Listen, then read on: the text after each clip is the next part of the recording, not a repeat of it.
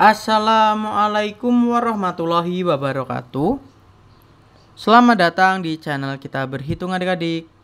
Pada kesempatan kali ini kakak akan mencoba untuk mengajarkan bagaimana sih cara mencari jawaban dari soal nomor 3 Silahkan diperhatikan.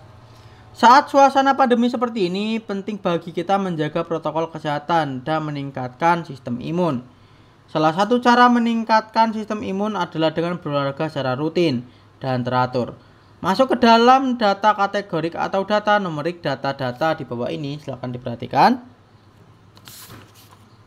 A. Jenis olahraga favorit siswa kelas 7 jenis berarti data kategorik tidak berhubungan dengan angka. Data kategorik. B. Banyaknya siswa kelas 7 yang berolahraga pada hari Sabtu banyaknya berarti angka data numerik. C. Lamanya waktu dalam jam siswa kelas 7 berolahraga dalam sehari. Angka berarti data numerik. D. Skor dalam pertandingan bulu tangkis berarti data numerik lagi karena berhubungan dengan angka ya. Data numerik. E. Kelompok usia tim sepak bola. Kelompok usia berarti kelompok berarti kategorik. Data kategorik.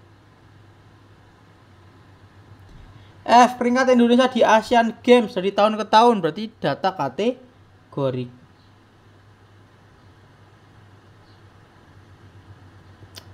Sampai jumpa di video berikutnya. Wassalamualaikum warahmatullahi wabarakatuh.